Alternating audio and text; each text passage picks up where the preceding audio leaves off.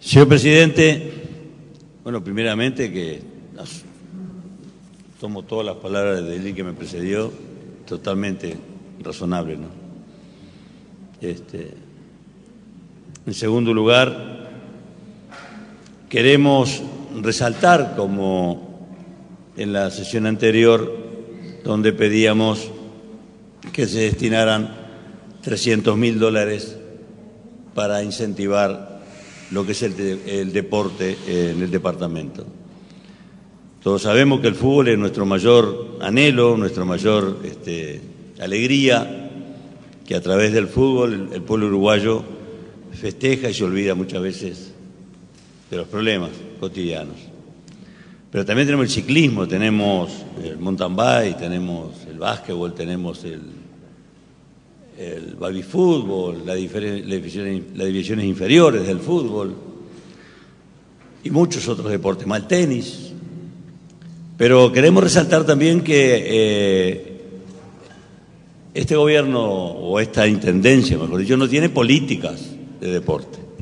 Carece totalmente de política de deporte y no lo ha usado ah, al tema del deporte como eh, algo para, para hacer política. Eso es mi pensamiento.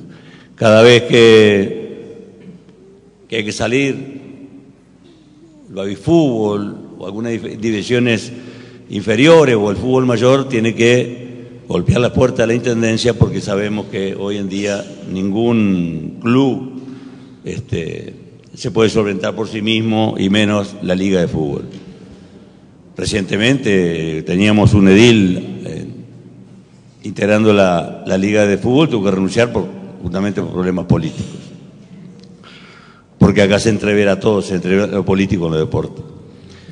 Queremos resaltar eh, que tenemos tres deportistas de mountain Gustavo Pereira, Ramón Valdés y Rodrigo Rosano, que fueron eh, y compiten en San José.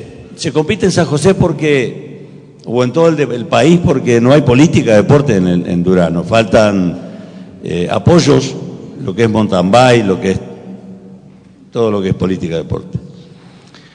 Eh, estos tres competidores lograron el segundo puesto eh, compitiendo en San José en carrera de 25 a 50 kilómetros. Entonces nosotros entendemos que se debería tomar ejemplos por esta Junta Departamental permanentemente, no sé con qué fin, pero siempre se están este, halagando o galardonando todas aquellas que se han demostrado eh, la superioridad cuando, a nivel de competición. Hoy nomás tenemos a, una, a, un, a los botijas de, de su 15, creo que, su 15, que vienen a ser lajados, como otros, han venido otros tantos. Pero también tenemos a Rafael Barragán, que compitió en 90 kilómetros eh, ultramaratón y salió campeón. Y también tendríamos que este, galardonarlos y hacer un esfuerzo, porque también les incentiva a seguir con el tema del deporte. El deporte es un tema tan importante porque a través del deporte está la educación. En cada director técnico hay un educando, hay una persona que educa en valores, más en lo que es el babifú. Entonces, pero nosotros seguimos entendiendo que tanto a Gustavo Pereira, Ramón Valdés, Rodrigo Orsano como a Rafael Barragán habría que darle una distinción e incentivarlos, esta Junta Departamental, que se ha tornado como una costumbre, de este, elogiar a, los deportistas que se destacan en el departamento, en de alguna manera hacerle un merecido homenaje incentivarlos a que sigan en la ruta de la educación, el deporte, porque a ese, porque si no nuestra sociedad hoy está casi perdida.